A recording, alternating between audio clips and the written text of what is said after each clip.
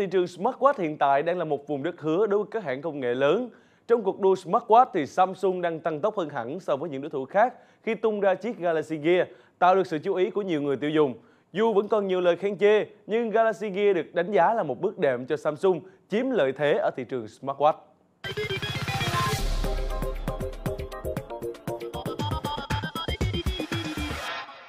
Khi ra mắt chiếc Galaxy Gear thì Samsung đã định ra một cái hướng đi đó là cung cấp cho người sử dụng một thiết bị để có thể nhận được cuộc gọi, nhận được tin nhắn từ chiếc điện thoại của mình mà không cần phải lấy điện thoại ra, chỉ cần thông qua màn hình cảm ứng cũng như là đường truyền Bluetooth thì không chỉ là nhận được cuộc gọi, nhận được tin nhắn mà chúng ta có thể update Facebook lên uh, update các thông tin trên mạng xã hội như là Facebook, Twitter một cách rất là dễ dàng. Và để thực hiện được cái thao tác đó, Galaxy Gear được trang bị màn hình Super AMOLED 320 x 320 1,63 inch, vi xử lý 800, RAM 512M, bộ nhớ 4GB và pin 315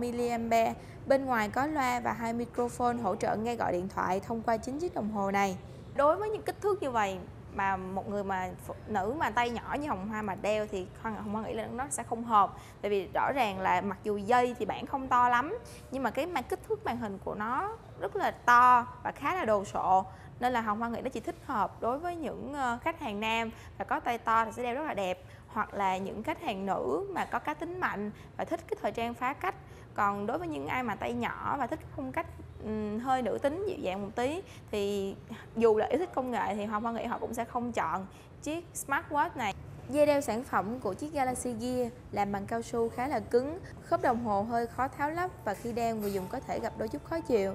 Nhưng bù lại, ngay trên dây đeo có gắn một chiếc camera nhìn khá độc đáo. Camera lồi lên và có thể sử dụng ở bất kỳ tay nào vì Galaxy Gear có tùy chọn cho cả người dùng thuận tay phải cũng như người dùng thuận tay trái để camera luôn được hướng ra ngoài. Mặc dù là dân yêu thích công nghệ họ rất là hào hứng với chiếc Galaxy Gear của Samsung nhưng mà khi mà nó ra mắt thì sau cái đợt hào hứng đó thì người ta lại đưa ra rất nhiều phản hồi không mấy tích cực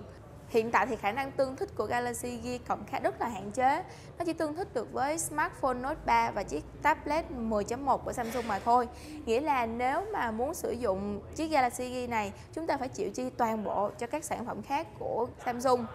Ngoài ra, mặc dù sở hữu loa chống ồn thì nhiều người dùng đã phản ánh rằng Galaxy Gear chỉ có thể nghe gọi hiệu quả ở những nơi yên tĩnh, còn ở những nơi quá ồn thì chúng ta sẽ khó mà nghe được đầu bên người gọi nói những gì. Tuy nhiên, mặc dù là Galaxy Gear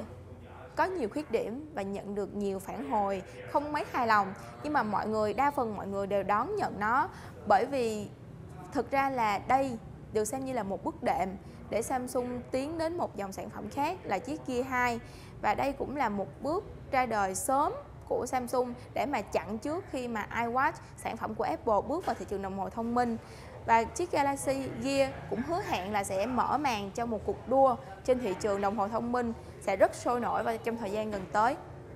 Và thưa quý vị, đến bây giờ thì thời lượng cho chuyên mục tuần này có gì mới cũng đã kết thúc. Hồng Hoa xin mời quý vị quay trở lại với MC Vĩnh Phú tại trường quay FPNC với cửa sổ công nghệ tuần này.